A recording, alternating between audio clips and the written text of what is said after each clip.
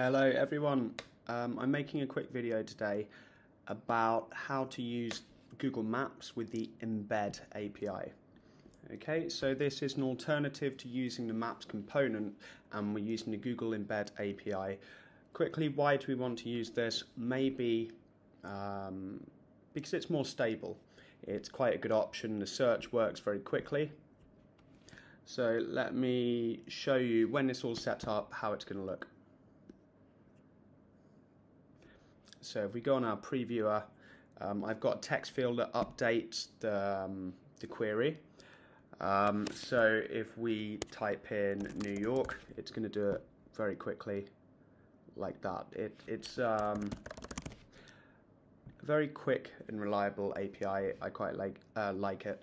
Um, also, you get to move the map around. That will be an external link to Google to view the large map. You can change it to satellite, you can zoom in and out, um, but um, we can't really click on the marker and make an action on Adalo. So that's the difference. It's more of a display rather than um, something that can be more deeply linked to our app. Um, right, so we need to be on the Google Cloud platform, Google Maps platform, and the API we need is the Maps Embed API. Okay, so you're going to need to enable that.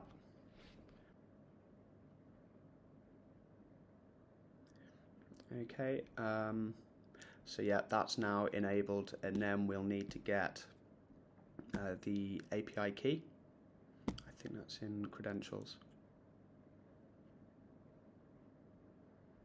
Okay, credentials, maps embed API, and then we copy our key and um, I've, I've just put it up here um, how it's done. Um, we're going to have a web view here, okay? And this web view, we're using this format, um, which I'll put in the description. We're going to put in our API key, and then for the query there, that's going to be um, a magic text normally. Okay, you can see across here, I've got it set up uh, with my API key. Um, and it really is that simple. Um, so let's preview.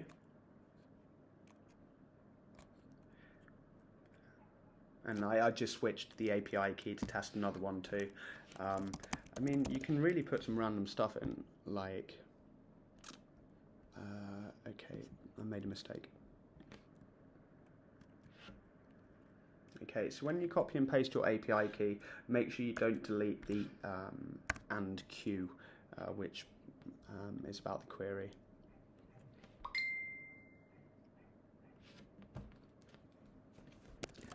Okay, so but you can really start um, putting anything in there. Um, it's not strict as the normal maps component, so I could type hello, and it's usually yeah, it's going to give a result no matter what I'm putting.